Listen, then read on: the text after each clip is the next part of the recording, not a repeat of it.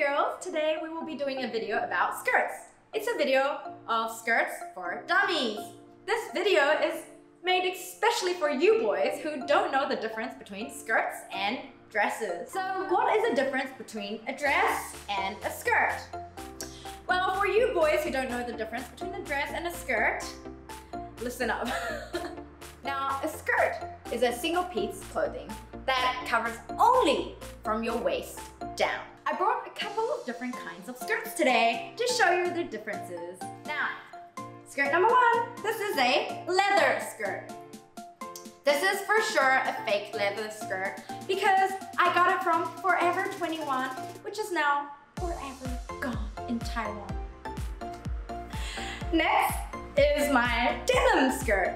Now, denims are usually blue, um, but here mine's a bit different and it's orangey, reddishy kind of color. And this is one of my favorite ones because it can be casual and it can be kind of formal if you dress up a little bit, but it looks really hot. And next one is a polka dotted skirt. Um, polka dotted skirts are very cute. You can wear it in whatever style you want. You can wear a crop top, you can wear a hoodie with it, and it's just very casual and however you want to style it. So the term bohemian style are clothing where it's more hippie-like, artistic flowery, flowy, all that. My question to you is, do you think this skirt categorizes as bohemian style? Because for me, bohemian style skirts are more flowery with more florals, more color, and long and flowing. But what do you think? So now these are some of the skirts that I wanted to share with you guys and show you what the difference between a skirt and a dress is.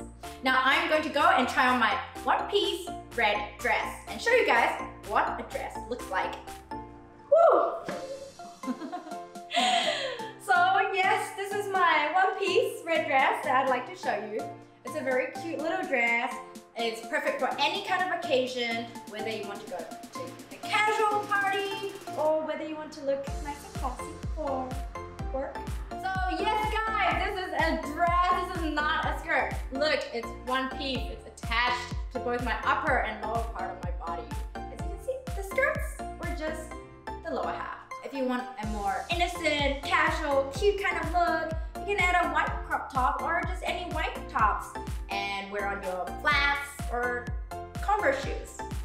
So now if you want to go for a super casual look, where you just woke up but you kind of dressed up a little bit, you can add on a nice simple one-colored hoodie or multicolored hoodie. This is a basic fashion video about skirts for dummies.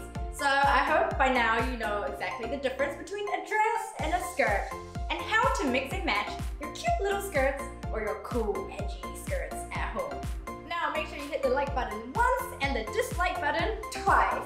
Which means like it once. Alright, see you in my next video. Bye! Ah, sorry, forgot my clothes.